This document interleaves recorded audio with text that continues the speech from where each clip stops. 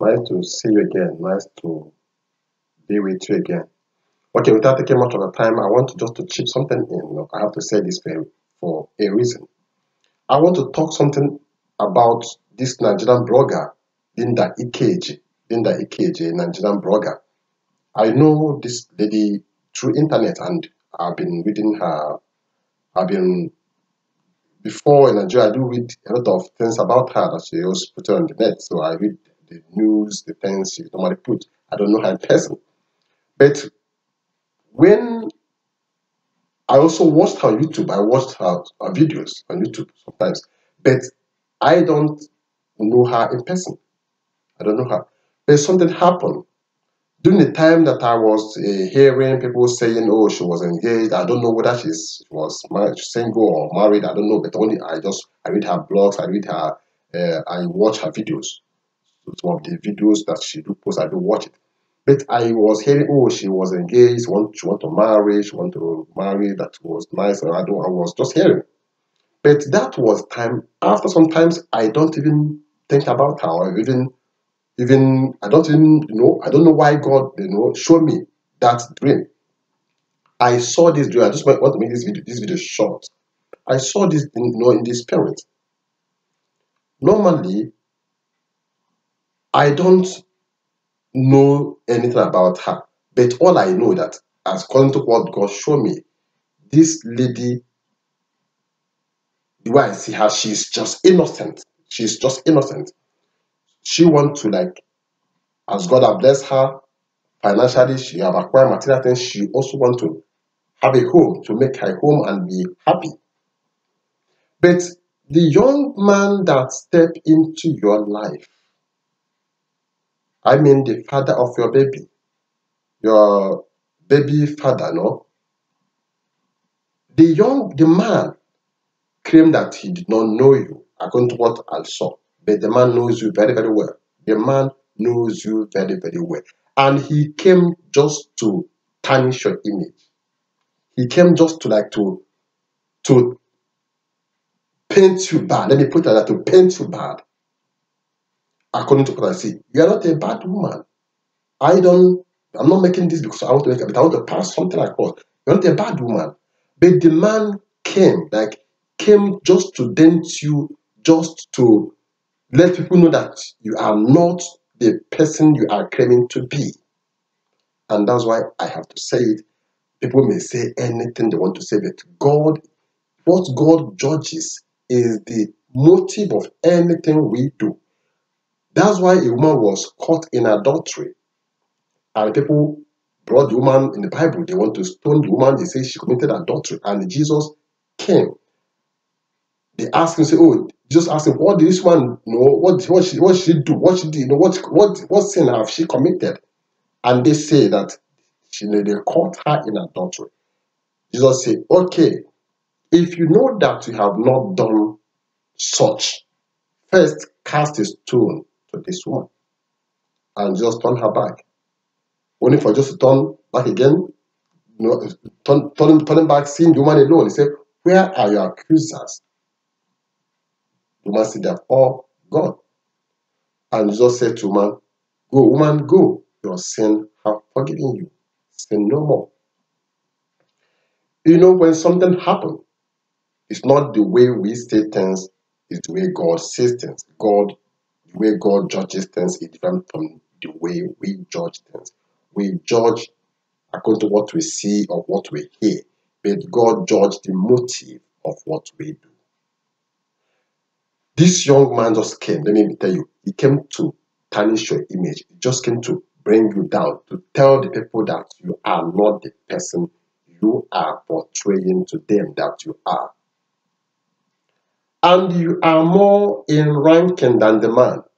I'm talking to you, Linda Ikeji. I don't know you, but I have to say this because God revealed to me, and God said that I should say this to be a blessing to somebody. Somebody else may hear this and it will be a blessing to the person. You are more in the realm of the you are more than the man. You are more than the man. And the man step inside and claim that he portrayed you as a big boy. But sometimes it's also good for you people.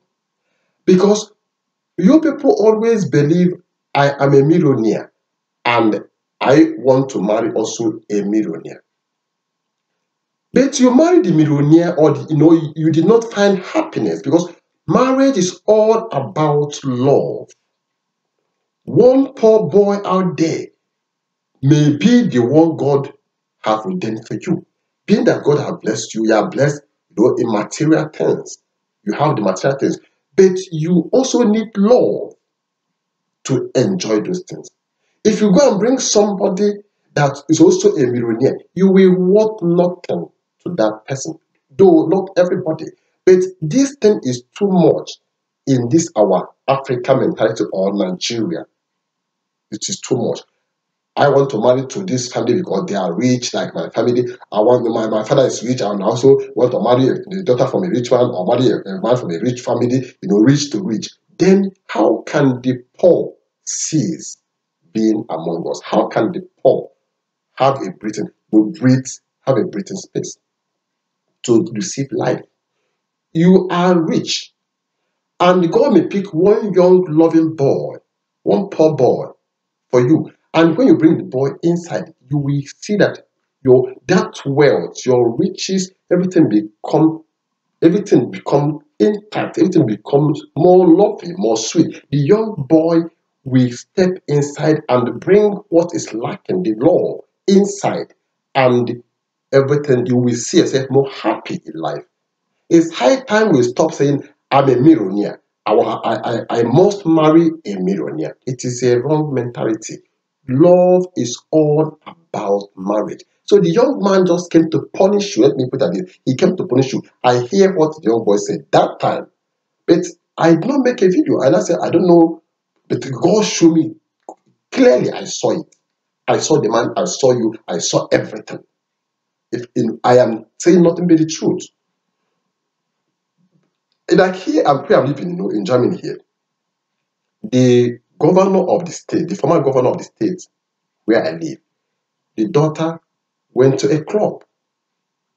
And you know, and in the club, you know, she found one African guy from Gambia, I think Gambia, Gambia, one young African African poor boy that is here, not, not even having the stay or anything. But this young girl fell in love with this young boy. They started, they, they, they, they come in contact with each other in the club. They started, they, they exchanged number. They started communicating. A day came, this young girl, even this young boy not even know that that lady, the lady, you know, is a daughter to the governor of the state. Until one day, the lady told the boy, My father is the governor. The boy wanted to faint. Said that you you bring yourself so low, so down. So the lady said, I want to introduce you to my parents and I want us to marry.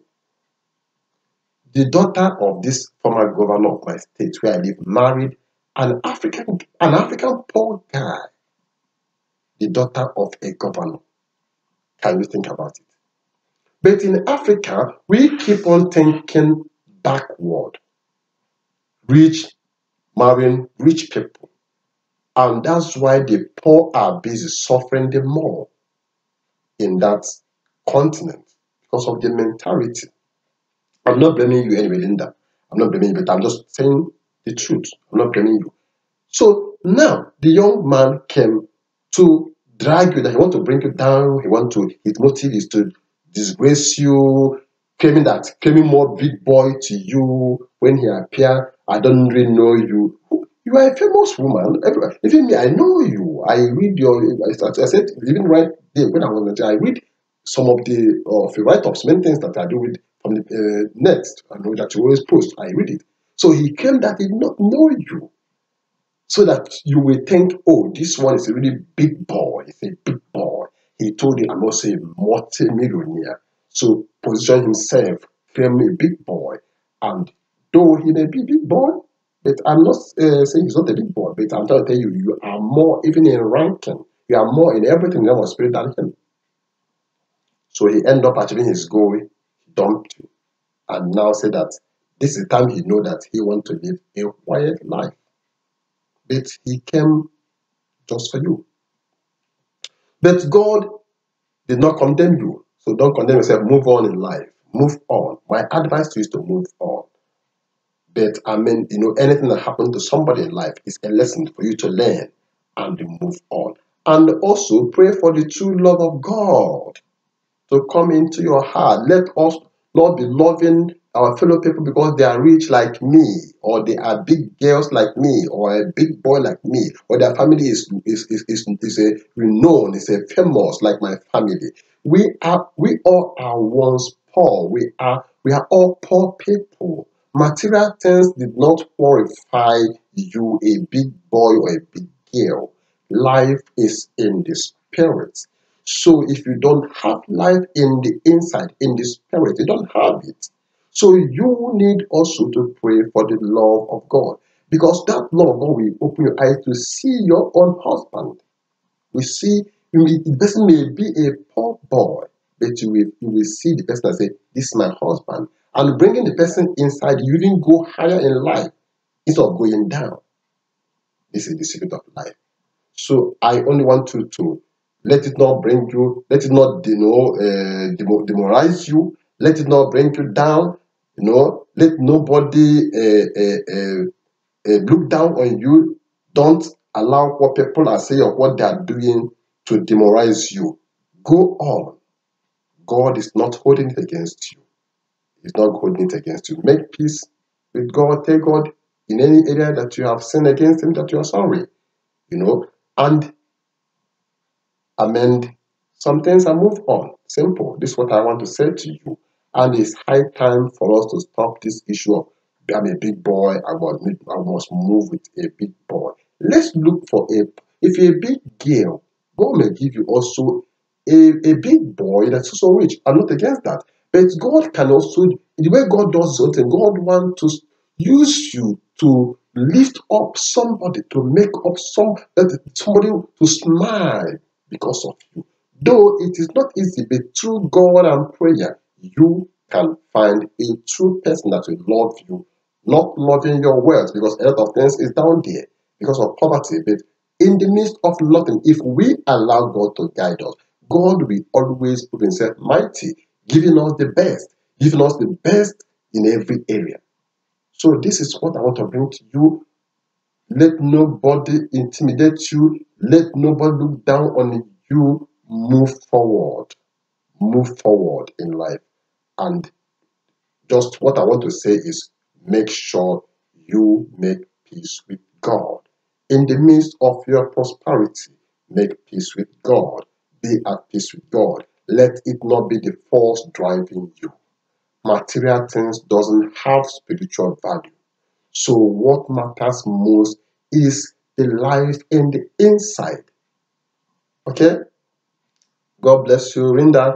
I don't know you, but I I like you as a person, and I, I want to tell you this as God revealed to me that this young man, you did not have anything negative, but the man had a negative. The one that God is holding guilty is that man. He have a hidden agenda coming to you. He did not come to you with genuine, with the true love. He came with something hidden in the inside that he exercised it when the, the right time appeared. He showed you his record. And God hates such a thing. God hates it. God hates it. It's, it's high wickedness, high deceit, deceitful men. They are out there, they are many. They're also in women. But may God help us to be truthful, to speak the truth from the inner man. I don't see the reason a man will go to a woman because he just want to make advantage of the woman because want to to see how she look like on bed or how to or maybe want to take money from her. You must go to a woman or to a man because you love, because you love the person, not because of any other thing, not because of anything. God bless you. I don't want to say more than this. I don't want to go more than this. This is what I want to say. So God did not have anything against you. Your sins are forgiven you. Linda, go on. Move on. God bless you.